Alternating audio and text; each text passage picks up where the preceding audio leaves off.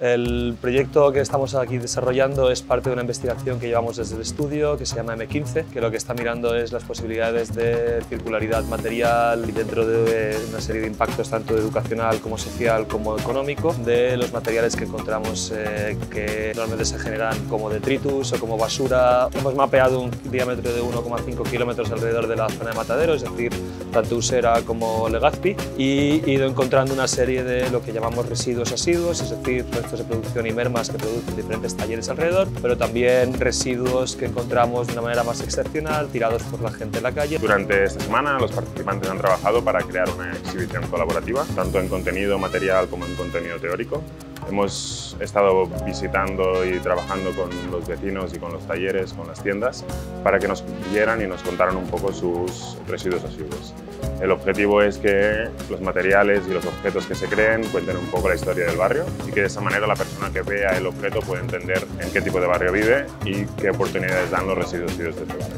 Este taller me está enseñando a pensar los objetos desde un punto de vista más ecológico, más creativo